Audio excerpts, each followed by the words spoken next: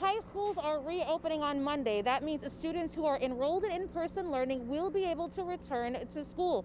But with the big news from the CDC today saying that students can now be three feet apart instead of six, the mayor and schools chancellor announced more students will be able to head back to the classroom. The CDC has evaluated the evidence and has decided that the distance between uh, children in our public school classrooms can go from six feet to three feet. As high school students get ready to head back to class on Monday, Mayor Bill de Blasio and schools chancellor Meisha Ross Porter announced late this afternoon more students will be able to head back to school. It is time for an opt-in period and that will begin next week. The details will be announced on Monday. The new relaxed CDC social distancing guidelines released Friday means students can sit as close as three feet apart to each other in classrooms instead of six feet. Masks will still be a must.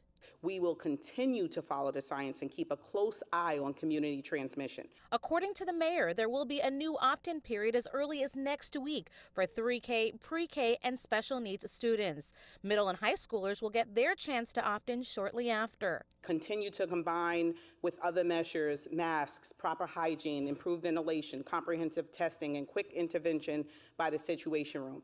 16 year old Yonam Pierre, a high school sophomore in Queens, is ready to go back. Actually, I'm really excited for it. But just being in the classroom and having that ability to just say, uh, hey, teacher, like, can I get support in this or that? But this high school junior in Brooklyn says COVID in the classroom is still a big concern. My family and I have agreed that we are not going, I'm not going to go back until I'm vaccinated.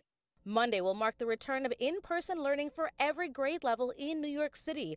And city officials say the new CDC guidance will be a big step in getting kids back to some sort of normalcy in the classroom and with their education. Every single child can get back in the classroom. That's going to help them move forward and get past the pain of this pandemic. And the teachers union did respond to those CDC guidelines saying teachers and principals will work with city and state leaders to make sure students and teachers are safe in classrooms. In Midtown, Jennifer Bisram, Pix 11 News.